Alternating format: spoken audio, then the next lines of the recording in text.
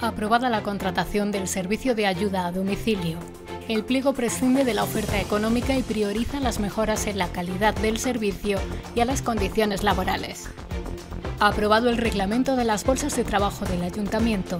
Luz verde también a la modificación de la relación de puestos de trabajo que recogen más puestos de policías locales y bomberos. La Junta de Gobierno local aprueba el pliego para sustituir las luminarias del municipio por tecnología LED. El proyecto está financiado al 80% por fondos FEDER y al 20% por el ayuntamiento.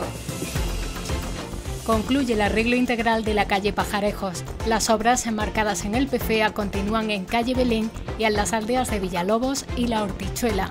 Las labores de asfaltado prosiguen en el núcleo de Alcalá. Cinco nuevos bomberos toman posesión de su cargo. Con estas incorporaciones, la plantilla aumenta hasta 11, paliando el déficit de agentes que arrastraba. Los cursos de verano de la UNED finalizan abordando el suicidio con una mirada positiva.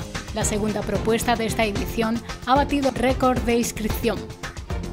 Balance positivo del paso de la Ruta del Sol por nuestro municipio el pasado 19 de mayo, con más de 3 millones de visualizaciones recepción a los becarios que realizarán sus prácticas este verano en el ayuntamiento a través del programa Ícaro.